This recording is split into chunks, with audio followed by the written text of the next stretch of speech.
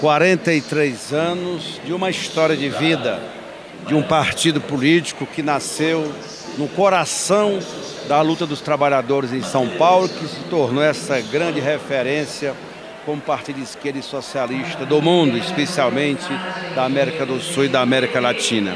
E esse momento ele é muito especial, porque nós aguardamos o presidente Lula chegar, a presidenta Dilma, e com a direção do PT, e nós parlamentares vamos estar muito juntos nesse momento especial da vida do PT reafirmar os nossos compromissos com o Brasil, com a democracia e com os direitos do povo, nosso compromisso inarredável com a soberania do Brasil e, evidentemente, a defesa que será todo dia e toda hora do programa de reconstrução e transformação do Brasil, do governo do presidente Lula. Por isso que nós estamos animados e eu, como líder do governo na Câmara, nós vamos dar a alma para sustentar, articular e construir o governo Lula dentro do Congresso Nacional para que ele possa impulsionar as, as mudanças e as reformas que visem melhorar a qualidade de vida do Brasil. Por isso estamos juntos.